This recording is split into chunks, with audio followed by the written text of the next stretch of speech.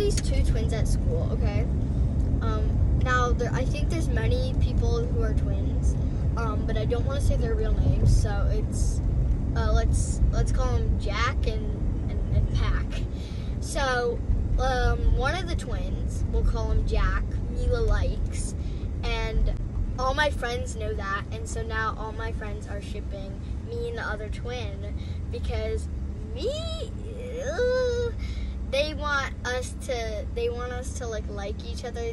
And i feel like one of the, the twins who they're shipping me with likes me and then the other twin who mila likes that twin might actually like mila. Wait, is this twin? i don't know like i don't know. I maybe. Is the twin shipping you guys?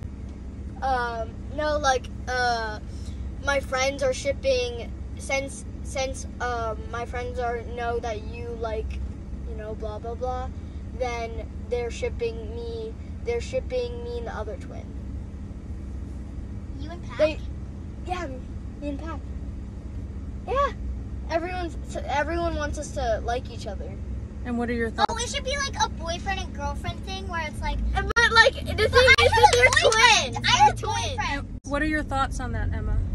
Do you like him?